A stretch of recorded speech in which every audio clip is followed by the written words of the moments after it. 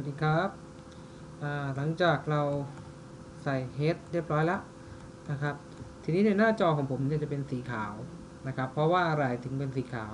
เพราะผมจัดการมุมมองนะครับของการแสดงผล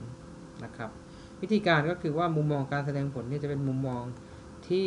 เซตตามเบอร์ปากกาตอนทำ plot profile นั่นเองนะครับด้วยการที่ว่าเราลองขยับเมาส์มาด้านล่างขวานะครับ จะเป็นแบบ print view นั่นเอง แต่ถ้าเป็นดีไซน์วิวก็คือเป็นมุมมองแบบที่เหมือนคล้ายๆ การเขียนนะครับคล้ายๆของการเขียนเส้นปะนี้ไม่มีผลนะครับไม่จะไม่ไม่ปริ้นออกมานะครับ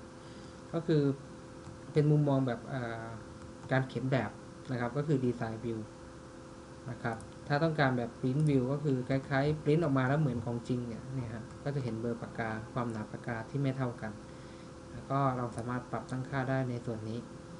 นะครับยังไงลองลองศึกษาการใช้งานดู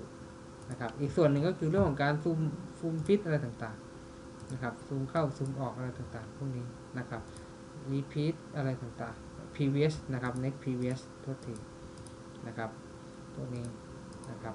ก็จะมีคำสั่งให้ลองเล่นอยู่ด้านล่างตรงนี้นะครับยังไงลองศึกษาการใช้งานดูครับ ขอบคุณครับ